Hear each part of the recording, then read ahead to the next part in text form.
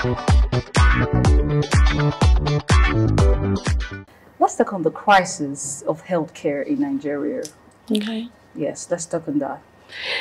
I mean, I think the crisis on healthcare in Nigeria currently is a very big one, if I'm being very um, sincere and realistic, because Nigerian healthcare system right now is not the best. You know, there's a lot of hospitals that I have been to that just were not up to standards. You know what I mean? And, you know, I mean, in this time of social media and all that, we would see people who, you know, would complain about going to the hospitals and like spending so much time and not getting attended to, or people who, you know, it's like there are different stories that people tell from the incompetences that comes from you know most of the staffs. I think it's not because they're not qualified. Most times it's because i think they're just reluctant. And also i mean when you're not paying your staffs very well what do you expect? Your staff i mean um, it becomes a problem you know and then people don't give their best. And then if people are not working in a very conducive environment it's hard because the patients are suffering, the staff is suffering, and the management sometimes it's really not their fault. Because if the right funds that were supposed to be allocated to these people were allocated to them, they would do their jobs. So I think the crisis when it comes to healthcare is it's a big one. And it should be looked into. Mm-hmm. That's the right one. So how do we get to talk to the federal government or how do you think that the authorities can manage this? Good thing we have a new administration and you know, one of the things we would expect a new administration to do is to look into matters like this. You know, because when it comes to education, healthcare, these are most of the most, like, they're actually top three important things anywhere in the world. In fact, just generally for a human being, education, food, healthcare. So I think them being able to focus on the healthcare system in Nigeria and trying to make it better. We're losing people. You know, a lot of professionals are beginning to travel abroad because they feel like they're more valued abroad. My story is different. Some people would look at me and think, oh, you traveled abroad to go do your nursing because Nigeria. No, that's a different thing for me because I've been there since I was a kid, so it's different.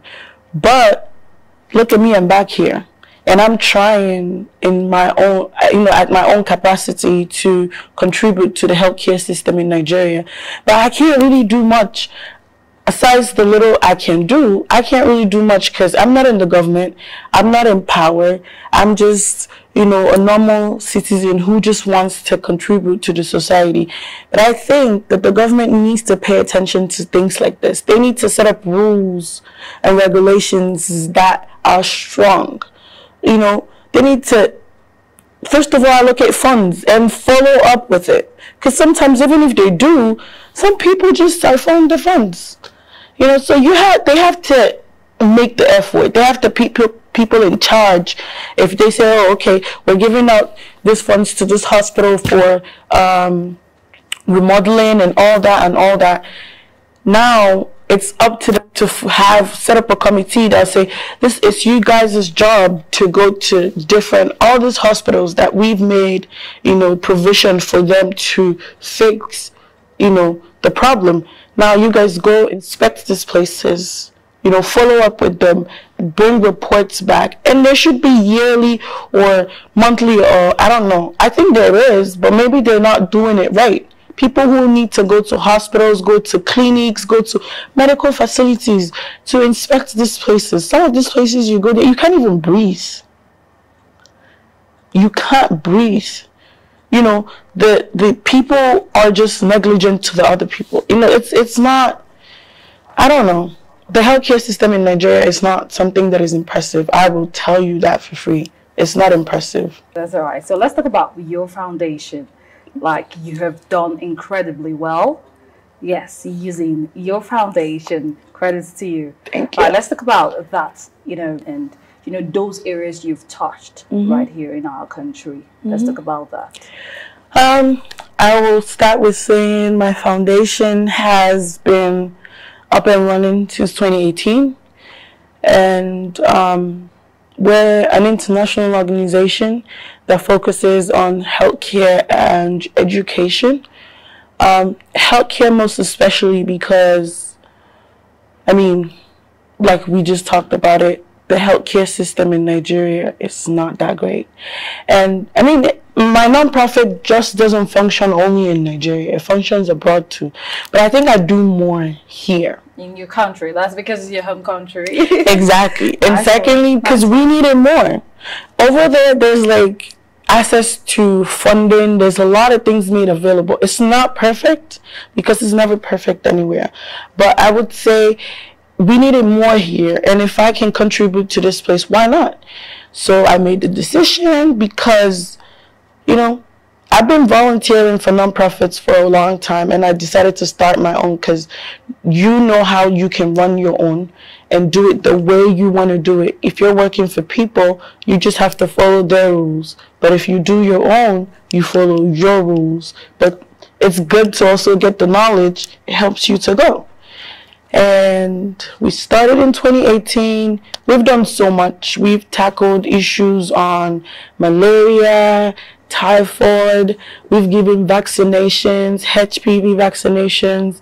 Um, we go to schools. We educate kids. We supply school materials. Um, we educate kids on hygiene. You know, we take it as a project. We go to um, orphanages and we offer free medical health care for them, you know, and food supplies. And currently, right now, we have a project coming up on the 23rd, and that's um, free malaria testing, typhoid testing. And it's not just testing, we do food treatment. So you get tested, so you see a doctor, you get tested, and you get medication on the spot. So it's what Chinwe Chibuike Foundation is about is rendering full scale health care to people. We do free medical eye care too. Um, by the grace of God, we've been able to partner with, you know, a couple of state governments, for example, Abia State, um, and some private sectors too, to provide, you know, health care to people because some people can't afford it. You know, some people can afford it. And I don't really know if there's hospitals in Nigeria that don't charge people to come get treatment and all of that. So, I mean, in the me, best way. be one. Of course, that's what we're working That's towards right now. I mean, right now we're not even charging people for anything. We just say, just come, you know, come, come get tested, come figure out your health situation. You know, we have blood pressure medications too for people. We have, we do blood sugar testing, you know, for people who are like early on it and they don't even notice. Cause some people are going through these things and because they're not, you know, so equipped, you know, in they're not so equipped, like, you know, knowledge wise to understand, or they're not so exposed to understand that, or maybe if you're going through something, it might be as a result of an illness. They just, in Nigeria, we know we self medicate a lot. So if I have a headache, I feel, oh, malaria has come. I just took my last malaria pill two months ago. So I'm just going to take another one now. It could be something else No. You know? So part of us also going out there to render free medical care to people is also we first of all educate them. You know we have to educate them first because you they have to know what they're getting and they have to know that these things take process. You have to get tested you have to see a doctor and then you have to get a prescription and that's the way we follow it. We we get set up we have uh, we have um, volunteer teams of doctors, nurses, um, lab technicians, you know, and all of that. So we make sure we go according to how it's done. Because also, as a healthcare person, I need to also make sure that people things are done the right way and people are getting the right treatment. Because I want to know that if you go home, you're not gonna say, "Oh, you know, they just didn't ask me what was wrong with me and they gave me medication." No, no. you know and it's not always about the food that we go out there to give because i know we're non-profit people we're also going to give people food and feed them and all of that. But people also need to be checked out health wise. People also need to be, you know, looked out for in different ways. Because you might be hungry, yeah, but at the same time, you're also going through so much health difficulties. So why not just get both? and that's what we're here to do. My name is Gloria Chiwendu Chibuike.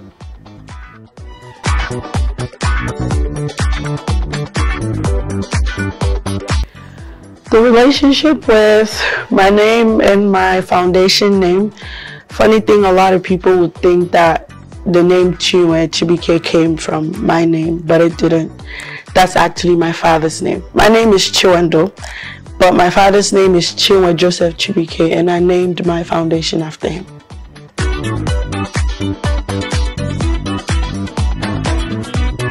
What I love doing most is giving back.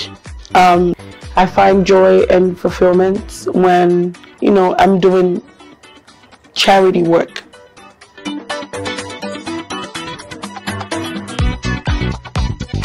People I would like to, or the organizations that I would like to work with, for one, the UN, um, because I know that they are in a great position to help this country. And you know with a good partnership with them my organization would be able to achieve a lot and to reach out to a lot more people.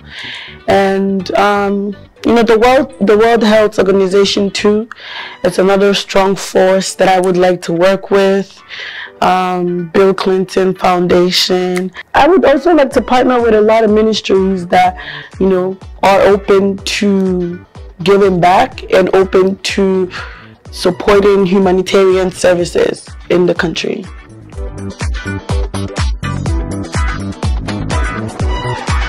I wish a lot for my country, but most especially, I wish that, you know, Nigeria is going to be a place where people feel fulfilled and proud. You know, I know we're people who are, I'm proud of my country, but I know that a lot of people, considering the situation of the country so far, you know, people are traveling, people are going, you know, trying to leave the country and all that. But I want this country to be a place that is safe enough for people to be around. And not just when it comes to security, when it comes to job, people getting jobs, infrastructure, you know, people being able to access, most especially, I want this country to be a country that gives people free medical health care you know, in a lot of ways, people who cannot afford it, and you know, good electricity, good roads, and just just a country where things are functioning, where if you work, you earn your pay. You know, I just want Nigeria to be a place that we all can live in and be genuinely happy.